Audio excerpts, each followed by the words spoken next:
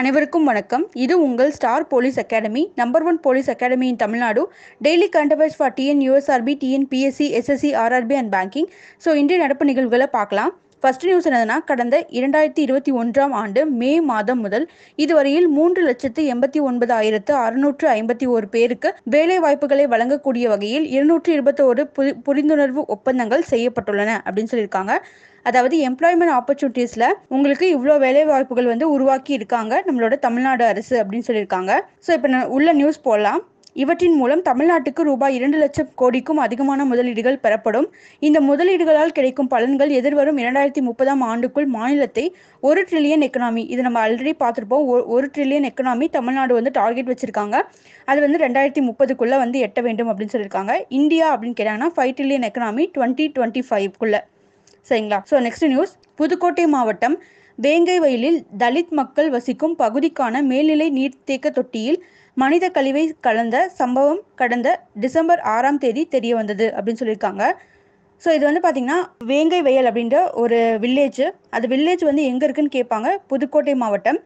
இது வந்து பார்த்தீங்கன்னா இப்போது ரீசெண்டாக வந்து ஹியூமன் எக்ஸ்க்ரீட்டாக வந்து அந்த தண்ணியில் வந்து கலந்ததாக சொல்லியிருக்காங்க. ஸோ அதுதான் இந்த நியூஸு இது தொடர்பாக சென்னை உயர்நீதி மன்ற உத்தரவின் பேரில் ஓய்வு பெற்ற நீதிபதி எம். சத்யநாராயணன் தலைமையிலான ஒரு நபர் ஆணையம் விசாரணை நடத்தி வருகிறது. ஸோ இது ரொம்ப ரொம்ப முக்கியமான கமிட்டி. பார்த்து வச்சுக்கோங்க.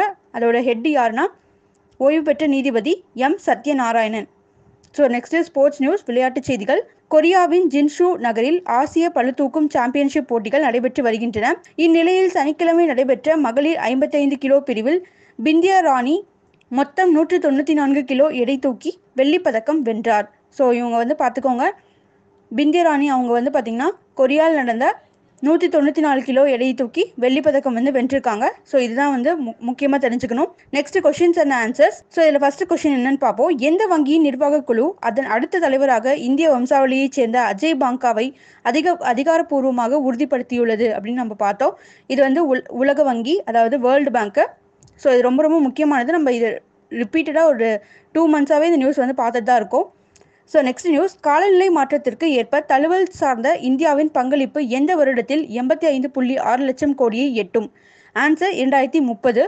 ஸோ இந்த மாதிரி டார்கெட் கொடுத்துருந்தாங்கன்னா கண்டிப்பாக இதெல்லாம் பார்த்து வச்சுக்கோங்க. அதுவும் கிளைமேட் சேஞ்சுக்குன்னா கண்டிப்பாக இது முக்கியமானதாக இருக்கும். ஸோ டூ தௌசண்ட் டுவெண்ட்டிக்குள்ளே தேர்ட்டிக்குள்ளே நெக்ஸ்ட் கொஸ்டின் வெப்ப அபாயத்தை கணக்கிட அடுத்த ஆண்டு எந்த நாடு வெப்ப குறியீட்டை வெளியிட போகிறது? ஆன்சர் வந்து பார்த்தீங்கன்னா இந்தியா. ஸோ இந்தியா நம்ம வந்து லான்ச் பண்ணுற பண்ண போகிறோம் என்னதுன்னா ஹீட் இண்டெக்ஸ் எந்த நாட்டில் எவ்வளோ ஹீட் வந்து ஜென்ரேட் ஆகுது அப்படின்றத. ஸோ இதுவும் முக்கியமானது ஹீட் இண்டெக்ஸ் பார்த்து வச்சுக்கோங்க. யார் ரிலீஸ் பண்ண போகிறாங்கன்னா இந்தியா தான். ஸோ நெக்ஸ்ட் சர்வதேச யோகா தினத்திற்கான ஐம்பது நாள் கவுண்டனை குறிக்கும் வகையில் யோகா மகோத்சவ் எந்த நகரில் தொடங்கியது? அப்படின்னா ஆன்சர் ஜெய்ப்பூர் நெக்ஸ்ட் கொஷின் உலக பத்திரிகை சுதந்திர தினம் எந்த தேதியில் கொண்டாடப்படுகிறது? ஸோ இது ரிலீஸ் பண்ணுறது யாருன்னா ரிப்போர்ட்டர்ஸ் வித்தவுட் பார்டர்ஸ் ஸோ அவங்க தான் வந்து வேர்ல்டு ப்ரெஸ் ஃப்ரீடம் இண்டெக்ஸை வந்து ரிலீஸ் பண்ணுறாங்க இது எந்த தே தேதியில் செலிப்ரேட் பண்ணுறாங்கன்னா மே மூணு. இது ரொம்ப ரொம்ப முக்கியமான கொஷின் இதுவும் நம்ம பார்த்துருப்போம் ரிப்போர்ட்டர்ஸ் வித்தவுட் பார்டர்ஸ் அது அவங்க தான் ரிலீஸ் பண்ணுறாங்க அப்படின்னு சொல்லிட்டு. So next question maiden ASEAN India கடல்சார் பயிற்சி எந்த நாட்டில் தொடங்கியது? Answer Singapore. ஸோ இந்த மாதிரி எக்ஸசைஸ் கொடுக்கும்போது பார்த்துக்கோங்க ஏஷியானில் இந்தியா வந்து இல்லை. இது வந்து ஆனால் தெரியணும் ஆனால் இந்த ஏஷியா இந்தியா மரடைம் எக்ஸசைஸில் இந்தியாவும் கலந்துருக்காங்க. ஆனால் ஏஷியனில் பத்து மெம்பர்ஸ் இருப்பாங்க. அந்த பத்து மெம்பர்ஸில் இந்தியா இல்லை. இது மட்டும் உங்களுக்கு தெரியணும் நெக்ஸ்ட் கொஷின் உலக ஆஸ்துமா தினம் எப்போது அனுசரிக்கப்படுகிறது? ஆன்சர் மே இரண்டு. நெக்ஸ்ட் கொஷின் கிரீன் வேர்ல்டு விருதுகள் இரண்டாயிரத்தி இருபத்தி மூன்றின் கீழ் கார்பன் குறைப்பு பிரிவில் குளோபல் சில்வர் விருது சமீபத்தில் எந்த மெட்ரோ அமைப்புக்கு வழங்கப்பட்டது? Answer Chennai metro. Next question மறைந்த ரணஜித் குஹா எந்த துறையைச் சேர்ந்தவர்? ஆன்சர் வந்து பார்த்தீங்கன்னா வரலாற்று ஆசிரியர் அதாவது ஹிஸ்டோரியன். நெக்ஸ்ட் கொஷின் எந்த ஆண்டு முதல் இந்தியா சிவில் விமான போக்குவரத்தில் சர்வதேச காலநிலை நடவடிக்கையில் இணையும்? இது வந்து பார்த்தீங்கன்னா answer two thousand twenty twenty seven.